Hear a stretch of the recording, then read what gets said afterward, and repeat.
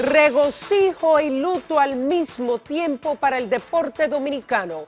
Mientras que Marilady Paulino dio cátedra de su velocidad en su primera carrera de los Juegos Olímpicos, pasando a la semifinal de los 400 metros, en el país el inmortal Soterio Ramírez, una de las principales figuras del baloncesto, falleció repentinamente a los 57 años. Ramírez era tío de dos de las jugadoras estrellas de las reinas del Caribe que compiten actualmente en París. Tendremos más sobre esa noticia más adelante. Pero antes, iniciamos con el presidente Abinader que presentará este 16 de agosto al Congreso sus propuestas de reforma a la Constitución que consisten en cuatro ejes como son establecer reglas de elección presidencial para impedir futuras modificaciones, consolidar la autonomía del Ministerio Público, unificar los comicios presidenciales, congresuales y municipales y reducir los miembros de la Cámara de Cuentas. Sí, esa será difícil. Wilkin de la Cruz nos tiene más detalles. A partir de este 16 de agosto, someteré formalmente la propuesta de reforma constitucional con el propósito de darle un respiro a la población, la propuesta de reforma constitucional del presidente de la República unificaría los tres niveles de elecciones presidencial, congresional y municipal a partir del año 2032. Esta medida permite una mejor administración del tiempo y del presupuesto asignado a los comicios, evitando la duplicación del gasto y de esfuerzos logísticos que genera la realización de varias elecciones. Abinader también dijo que el próximo 16 de agosto, cuando tome posesión de su segundo mandato, recomendará reducir de 190 a 137 diputados para hacer la Cámara Baja más eficiente y agilizar la aprobación de leyes. Al reducir el número de diputados, se busca un Congreso más operativo, donde el debate sea más dinámico y la capacidad de generar consensos sea más efectiva. Abinader además citó que se han realizado 39 reformas a la Carta Magna, de las cuales la mayoría ha sido para beneficiar al presidente de turno. En cambio, reiteró que su propuesta eliminaría esa práctica, evitando futuras modificaciones a las reglas constitucionales que versan sobre la reelección presidencial. Ningún funcionario de elección popular podrá beneficiarse de una reforma constitucional realizada durante su mandato cuando éste verse sobre las reglas de postulación, elección y permanencia del cargo que ocupa. El cuarto punto ha sido la idea de fortalecer la independencia del Ministerio Público. En ese aspecto planteó que el procurador sea inamovible, seleccionado por el Consejo Nacional de la Magistratura. Este órgano, a su vez, sería modificado para eliminar al representante del Ministerio Público y dejarlo en siete integrantes. Es parte esencial de esta reforma incluir en la Constitución un mecanismo de elección de un Ministerio Público que consolide para siempre una institución que puede ejercer sus funciones sin injerencias políticas y con total imparcialidad. De inmediato, algunos juristas que participaron en la presentación de la propuesta del presidente la calificaron como positiva. Entre tanto, el Foro Ciudadano criticó el escenario escogido por el jefe de Estado para presentar su reforma. En la medida en que se, se restrinja la permanencia en el poder de cualquiera en el país, eh, eso es beneficioso.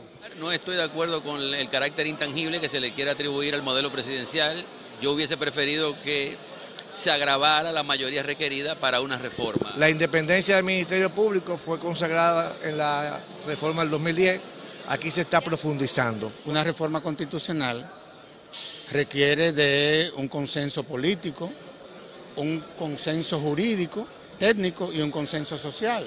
Estamos dispuestos a participar y queremos que se garantice la calidad de la participación de los diversos sectores. Finalmente, el mandatario adelantó que luego de la reforma constitucional someterá al Congreso las demás iniciativas que ha anunciado para fortalecer la institucionalidad del país. Wilkin de la Cruz, Noticias SN. Legisladores de distintos partidos políticos tienen opiniones encontradas sobre la conveniencia o no de que en una reforma constitucional se incluya la reducción de la matrícula de la Cámara de Diputados, tal y como lo preguntó el presidente Abinader en consulta vía WhatsApp. Jessica Soriano nos tiene más. La propuesta de reducir la Cámara de Diputados surge a tan solo días de que sean juramentados los 190 legisladores que conformarán esta ala del Congreso. La construcción de consenso con 190 diputados eh, es una tarea eh, un poco difícil. Yo entiendo que también debemos revisar a ver de qué manera pudiéramos nosotros que la matrícula de diputados también baje. Debe de tener un tope de la cantidad de diputados que tenemos específicamente en la República Dominicana. Estamos en 190 y seguimos creciendo, vamos a llegar a una cantidad mucho mayor. La matrícula congresual está determinada por la densidad poblacional del país, por lo que la oposición sostiene que la propuesta de disminución de diputados debe ser analizada y consensuada con las demás organizaciones políticas. Estaríamos diciendo, bueno, en Pedernales no caben dos porque son 18 mil electores, vamos a dejar Pedernales sin diputados, entonces porque ya está representado territorialmente. Eso deja da mucho que discutir. La nueva modalidad del presidente Abinader de hacer consultas a través de su plataforma de mensajería WhatsApp generó reacciones de la oposición. Totalmente de acuerdo con que se realicen consultas eh, en diferentes oportunidades para que la gente pueda opinar. Nosotros podríamos incluir también otros aspectos también que yo sé que sería importante conocer qué piensa la gente sobre varias instituciones del gabinete social que eh, tienen gran cantidad de recursos económicos y que no rinden una labor efectiva. En la consulta sobre la reducción de escaños, los resultados mostraron que más del 93% votó a favor y el 6% en contra. Jessica Soriano Noticias, SN. De su lado, la alcaldesa de la capital consideró que el uso de WhatsApp precisamente eh, por parte del presidente para realizar consultas es una forma de reconocer la importancia de escuchar a la población. Carolina Mejía expresó su apoyo a la idea de volver a unificar las elecciones municipales y presidenciales. Como ciudadana, a mí esta propuesta del presidente realmente me gusta. Eh, creo que pudiéramos trabajar en esa consolidación nueva vez de los dos procesos, tanto el presidencial junto al municipal, y pienso que en general eh, la población se inclina hacia, hacia esa modalidad. Mejía habló luego de asistir a la Catedral Primada de América a una misa por el aniversario número 526 de la Fundación de Santo Domingo. La pregunta de Twitter gira en torno a estas reformas. ¿Favorece a usted que una reforma constitucional se incluya la unificación de las elecciones presidenciales y congresuales con las municipales? No olviden responder con la etiqueta Opina SIN. Más adelante escuchamos de ustedes. Al llegar este fin de semana los primeros 100 días de, la nueva administración, la alcaldía de Santo Domingo Este arrastra un problema de insalubridad por la proliferación de vertederos improvisados pese a la instalación de furgones de basura. Jaycee Capellán estuvo allí. Pese a haber colocado 110 contenedores de basura, los vertederos improvisados se observan en vías principales de Santo Domingo Este aunque algunos residentes de Villa Duarte reconocen que se nota cierto esfuerzo en la recolección de desechos, aseguran que la tardanza de su recogida afecta a sus zonas. Cuando eso se llena, la gente tira más, basura, entonces pasan los días y, y el camión no viene. Uno no hace nada que el camión venga y la eche y después vuelva y se llene ahí, porque es que está como quiera a fe el lugar. En los mameyes, además de la basura, a sus residentes les preocupan las inundaciones que se registran cada vez que llueve por la falta de limpieza de los invernales de sus barriadas. Esos 100 días debería de celebrarlo, pero con un buen trabajo. Y esto, hasta ahora el buen trabajo no se ha visto. ¿En qué? Aquí en los mameyes yo no lo he visto. Pero aquí la calle está mala. Aquí llueve y la gente se está ahogándose con el agua en la calle. Tiene que enfocarse en los hoyos, que donde quiera hay un charco de agua, que tú no puedes pasar. Ahí él tiene que fajarse. Tenía yo una maleta llenita de sábana y toalla. Y cuando voy a ver la que yo no se me mojaba, podría, pero botarla todo, a toda muchacha. La alcaldía de esa demarcación tiene previsto dar detalles de sus 100 días de gestión en una actividad este jueves, según su dirección de comunicaciones. Para los consultados se hace necesario aumentar la cantidad de contenedores y la frecuencia de la recogida de basura para disminuir la contaminación en el municipio. Jaycee Capellán, Noticias SN. Al otro extremo, en Santo Domingo Oeste, también se quejan de la acumulación de aguas negras y el cúmulo de basura. Tendremos la historia más adelante. El gobierno de Estados Unidos aclaró este lunes que aunque ha reconocido a Edmundo González como el vencedor en las elecciones de Venezuela, todavía no lo reconoce como presidente del país. El Departamento de Estado indicó que esta o está en estrecho contacto con Brasil, México y Colombia para encontrar una solución e instó al oficialismo y a la oposición a que inicien discusiones para una transición pacífica. Mientras tanto, la Fiscalía de Venezuela informó este lunes sobre la apertura de una investigación penal contra González y contra la líder María Corina Machado por instigación a la insurrección.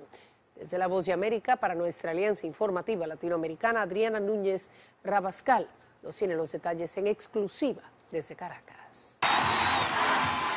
La Fiscalía General de Venezuela abrió una investigación contra el aspirante presidencial Edmundo González y la líder opositora María Corina Machado, luego de que ambos emitieran un comunicado conjunto en el que González Urrutia firma como presidente electo del país. La Fiscalía dice que el texto o en el texto se incita a policías y a militares a desobedecer las leyes. González Urrutia no ha tenido más apariciones públicas desde el pasado martes, mientras María Corina Machado tuvo un acto de masas el día sábado. Por su parte, Nicolás Maduro dice ser víctima de un cibergolpe de Estado, alegando que desde redes sociales como Instagram y TikTok se está llamando al odio y a desconocer su gestión.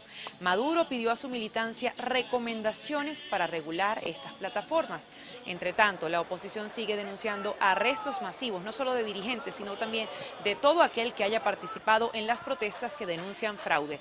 Recordemos que el domingo pasado el Consejo Nacional Electoral declaró como ganador de la contienda presidencial a Nicolás Maduro para un tercer periodo y gobernar hasta el año 2031. Sin embargo, la disidencia venezolana ha manifestado que es González Urrutia, el presidente electo de Venezuela, con más del 70% de los votos. Desde Caracas, Venezuela les informa Adriana Núñez Rabascal de La Voz de América para la Alianza Informativa Latinoamericana. Regresamos acá a este lado porque en Haití, tras un ataque a la ciudad de Gantier, la banda haitiana de 400 Mawoso tomó el control del anexo aduanero, aduanero, mejor dicho, de Malpase la línea fronteriza con Jimaní, alertó este lunes el gobierno de Puerto Príncipe. Ante esta situación, el primer ministro haitiano, Gary Conil, mantuvo una sesión de trabajo con el director de la Policía Nacional haitiana, mientras que dice que da seguimiento a la situación a unos kilómetros de la frontera de Jimaní, nosotros le estamos dando el seguimiento del lugar. Todo eso no es nada nuevo, parece que es nuevo para el gobierno haitiano y nosotros le estamos dando el seguimiento del lugar. Las informaciones es que en Gantier cunde el pánico y miles de habitantes abandonaron la ciudad para refugiarse en otros lugares. Con esta conquista territorial, las bandas se acercan cada vez más a las zonas fronterizas. Estas y otras informaciones las pueden ampliar en nuestra página web, ahí lo tienen en pantalla, pueden ver el noticiero, el informe y todas las informaciones y mucho más ampliadas en nuestra página web noticiassn.com.